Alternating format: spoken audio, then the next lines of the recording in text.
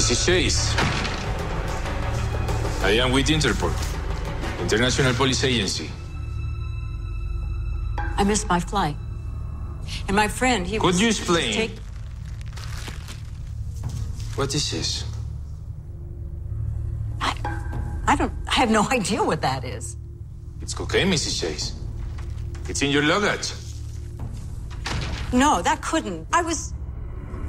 I would just watch them as they were going through the suitcase. They didn't find that, whatever it is. Does it belong to your friend? Nick? Absolutely not.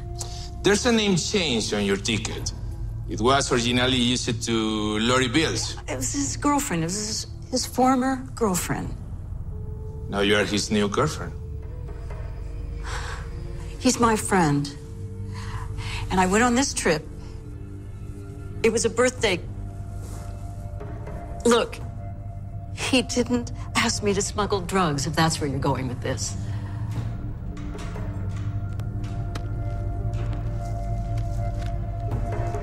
Was it your idea, Mrs. Chase?